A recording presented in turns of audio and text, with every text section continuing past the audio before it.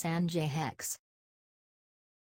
WhatsApp तो आजकल सब यूज़ करते ही है तो आपको पता होगा कि हम और हमारे बहुत फ्रेंड्स स्टेटस रखते हैं। अब स्टेटस में या तो पिक होती है या वीडियो पर अगर हमें किसी का स्टेटस वीडियो या पिक पसंद आ जाए तो हम फ़ोटो तो स्क्रीनशॉट खींच के डाउनलोड कर सकते हैं। पर वीडियो डाउनलोड कैसे करें? तो hello friends this is Sanjay Tak and welcome to my channel Sanjay hacks तो आज के वीडियो में बताऊँगा कि कैसे हम व्हाट्सएप में किसी फ्रेंड का स्टेटस डाउनलोड करें। लेट्स गो स्टार्ट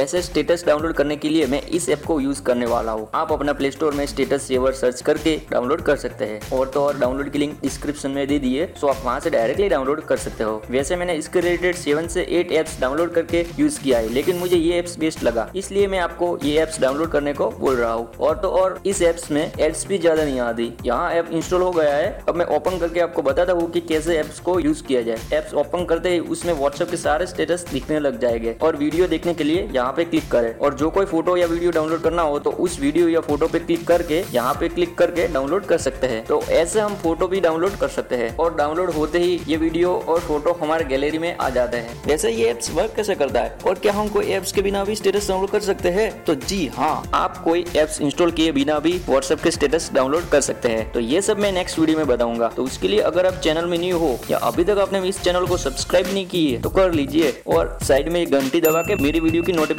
उसी टाइम पाइए जब मैं उसे अपलोड करता हूँ। अभी मिलता हूँ मेरे अगले न्यू वीडियो में। तब तक बाय